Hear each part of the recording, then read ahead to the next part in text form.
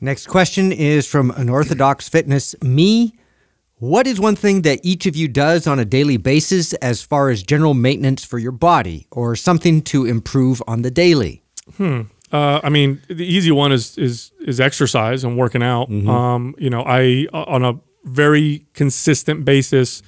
You know, luckily I have a, a gym in the garage, and I go out there and I do something. Um, so some I typically will alternate between heavy workouts and then the days in between is when I go out there and I just touch body parts with lighter exercises or I'm working on full range of motion or I'm doing things that work on my mobility.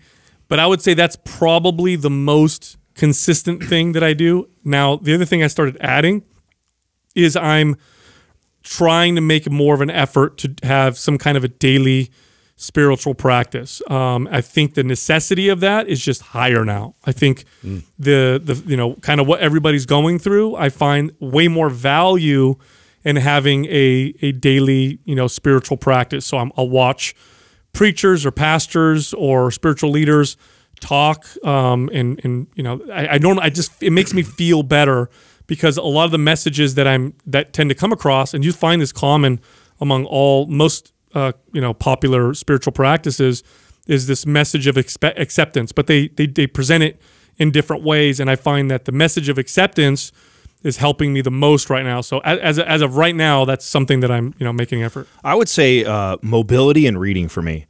Uh, those there's a lot of days that go by that I don't get a lift in. Like uh, I, I'd like to to say that every day I- I'm training and lifting weights, but the reality is, is I'm not. Um, and but what I'm really good about is you know there's a handful of uh, movements from our Maps Prime Pro that have just been life changing for me.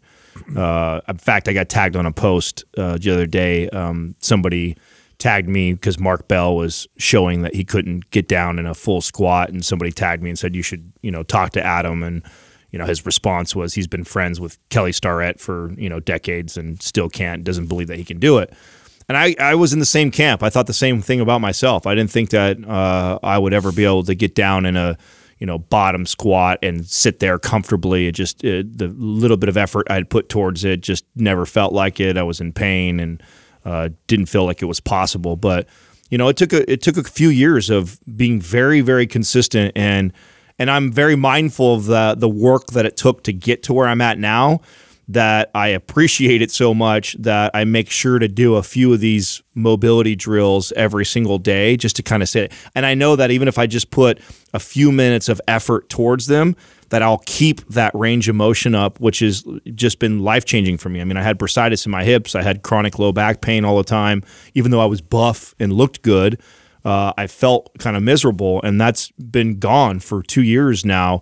And so I've made it a daily practice to to always, you know, hit my 90-90, hit some combat, uh, hit some thread the needles. Like there's a handful of movements that, you know, that we have in Prime Pro that I made like a ritual to always make sure that I do.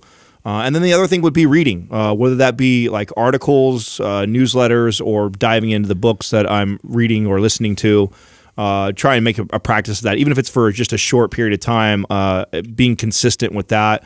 Uh, uh, that's one of the the single uh, most important things that I have found with continued growth for myself. Uh, so those two practices, I'd say, uh, I've been really good about always making sure that's a daily practice, and then I'm striving to uh, make sure that I have my workouts. But the reality is, those don't always happen. Uh, but the reading and the mobility does. Yeah, I've definitely ritualized certain mobility moves on a daily basis, mainly because of recognizing how my habits had changed based off of you know what I do what I do for a living now. I'm not up uh, re-racking people's weights. I'm not uh, walking around constantly, and so I'm sitting in the chair or I'm sitting in my truck or you know lots of sitting. So like half the day.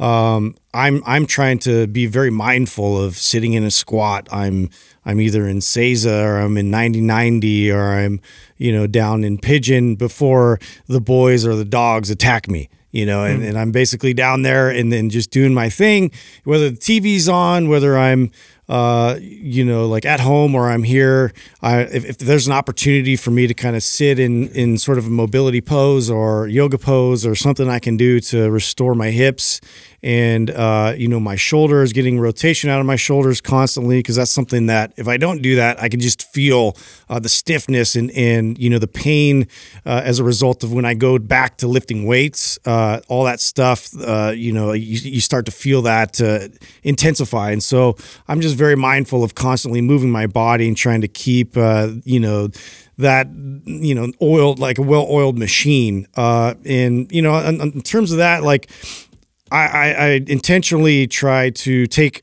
everyone in the family out on a walk. And this is something that courtney sort of helped me with uh, every time i'm home is is we get out and we go walk and we it doesn't matter where we go we have trails near my house there's a, a field that we go a lot of times to take the dogs but I use that time to roughhouse with the kids, but then also we just connect and we're able to talk, uh, you know, and communicate a lot better when we're active and moving together as opposed to sitting and trying to recap people's days. So that's definitely something I always do.